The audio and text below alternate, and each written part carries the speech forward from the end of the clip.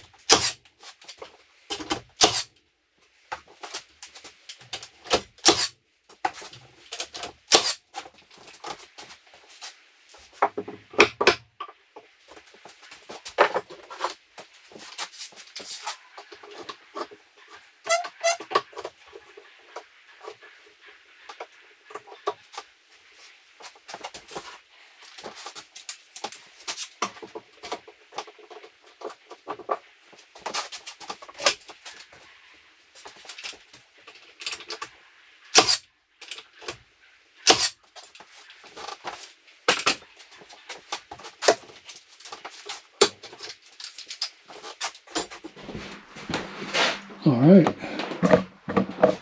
I've got the frame in. Everything's plumb and level. Shelves are level. So, uh, and same distance all the way from the top to the bottom. So now I need to uh, start adding my siding.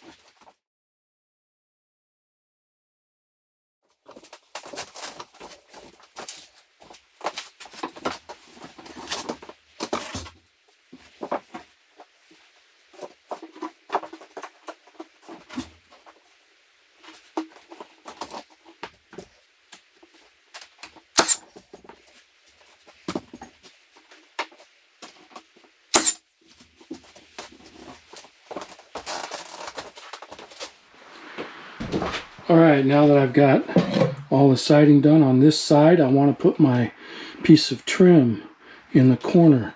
But I've got this switch plate right here, or receptacle plate. So I either have to route out this, gouge this all out to match this, or I can get my multi-tool and slice this plate and then slip this in. I think I'm going to go with that route because I think it'll look better and it'll be a lot easier.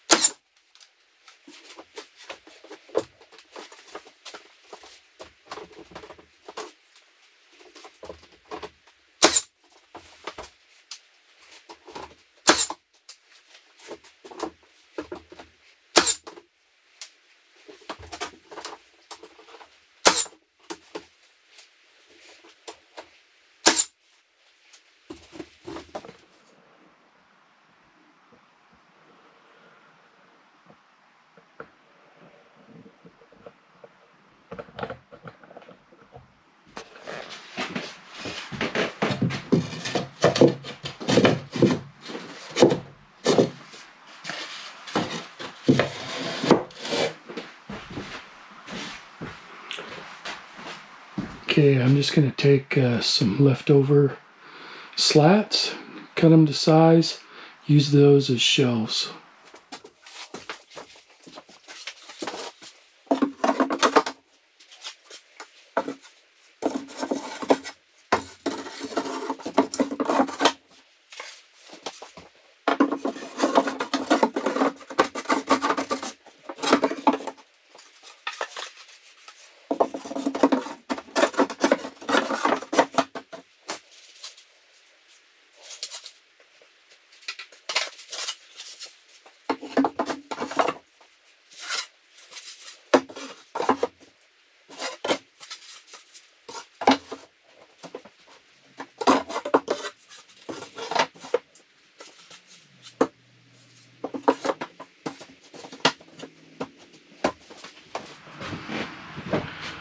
All right, there's my three shelves. So with those in, I'm gonna go ahead and finish installing the siding on here.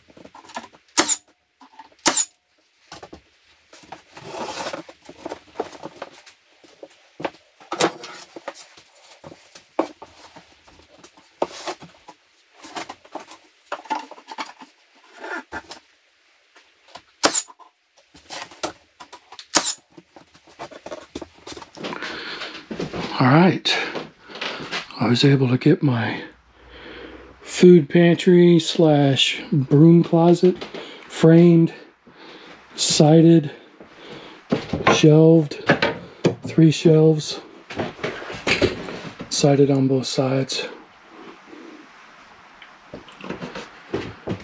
Gotta decide what I want to do about trim here because I'm not sure that I want to put a piece of trim there. And the reason is because now that I've got this here, I've got this little cubby hole here that I want to turn into a clothes closet. So I want to build a little bench above my batteries and electrical and all that. So that will kind of isolate that. And then everything from there up, I want to be a clothes closet. So I'm not sure if adding some trim there will interfere with some shelving and uh, hanger rods and that kind of thing. So I'm going to hold off on that until after I get this laid out, all my shelves in, then I'll come back and trim it. So I think this is going to do it for uh, today's video. So I'll talk to you guys later.